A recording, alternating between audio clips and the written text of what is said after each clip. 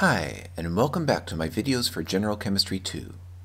Today I want to tell you about how we use radioactivity to discover the ages of all kinds of artifacts from archaeology, paleontology, geology, and even astronomy. To do it, we'll combine what we learned about nuclear reactions in video 37 with what we learned much earlier in the course about rate laws. For example, take this nuclear reaction, in which technetium-98 undergoes beta decay to form an electron and a ruthenium-98 nucleus. Way back in video 11, we found out that radioactive processes like this one are first-order reactions. If you've forgotten about what first-order reactions are and how they work, you might want to have another look at videos 11 and 12 to refresh your memory. Anyway, back in video 11, we found out that a first-order reaction has a rate law that looks like this. The rate of the reaction is equal to K, the rate constant, times the concentration of the reactant raised to the first power. For the reaction we're looking at here, the reactant is technetium-98, so that's what belongs in the brackets. So, what can we do with this? Well, remember that there are two equations that can help us learn more about first-order reactions. The first is this one, which shows us how the initial concentration of the reactant is related to the concentration that's still left after a time called t. The second equation tells us how the rate constant is related to the half-life. Here's how we use these equations to help us find the age of an item using radioactivity. Suppose we find a rock weighing one kilogram. This rock is made of the mineral sylvite, which contains potassium. A small fraction of natural potassium is the isotope potassium-40, which is radioactive. It undergoes beta decay to form an electron and an atom of calcium-40. Suppose the rock we found contains 1.00 milligrams of potassium-40. However, we know that when the rock was formed, potassium-40 would have been 2.808 times 10 to the minus 4% of the mass of the rock. Based on that information, how old is the rock? It turns out that we can figure this out using the information we have. To do it, we'll use this equation for first-order reactions. To find the initial concentration, we'll use the fact that 2.808 times 10 to the minus 4% of the rock was originally potassium-40. 2.808 times 10 to the minus 4% of 1,000 grams is 0.002808 grams. So that's our initial mass of potassium-40. Our final mass is 1.00 milligrams. We need the initial and final amounts to be in the same units, so I'll convert this final mass into grams, which gives us 0.00100 grams for the final mass. We'll put these into our equation for first-order reactions. But wait, the equation we're using asked for the initial and final concentrations, not masses. However, it turns out that the concentration is proportional to the mass, so we can use mass in this equation instead of concentration and still get the same results.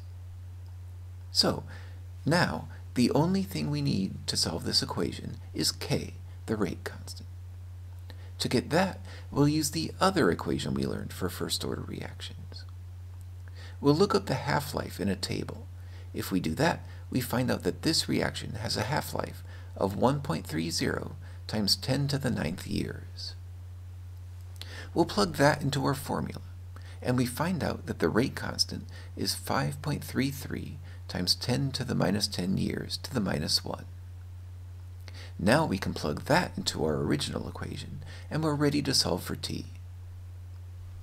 The fraction in the logarithm is equal to 2.808. When we take the logarithm, we get 1.0325. Remember, in this equation, we're using ln, the natural log, not the base 10 log that we used when we were calculating pHs back in video 20. Now when we solve for t, we find out that t is 1.94 times 10 to the ninth years, so that's the age of our rock, 1.94 billion years old. This really is the way that we determine the ages of rocks that contain minerals with potassium in them, and it gives us very accurate results. Let's try a different example. Suppose we find a 100 gram bone that contains 3.10 milligrams of the isotope carbon 14.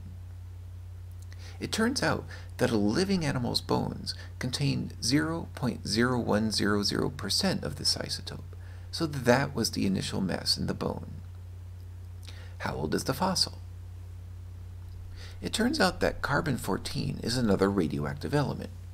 It undergoes beta decay to produce an electron and an atom of nitrogen-14. Since this is a radioactive isotope, we can once again use our first-order reaction equations to find the age of the bone. The initial mass would be 0.0100% of 100 grams, which is 0.0100 grams. The question then tells us that the final mass is 3.10 milligrams. I'll convert that to grams so that the numerator and the denominator are the same unit. So that's 0.00310 grams. Next, we need to know the rate constant, which we can get using this equation. If we look up the half-life in a table, we find out that it's 5,715 years. That gives us a rate constant of 1.75 times 10 to the minus 4 years to the minus 1. So we'll plug that into our first order equation for k, and we're ready to solve for the time. The fraction in the logarithm is equal to 3.2258. When we take the logarithm, we get 1.1712.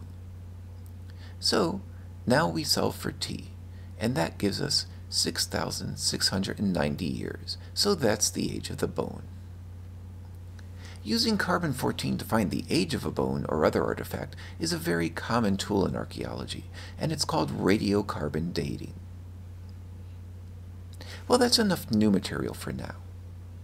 In the next video, we'll wrap up our discussion of nuclear reactions by talking in more depth about the fusion reactions that happen in stars, and we'll find out where all the elements in the periodic table come from in the first place.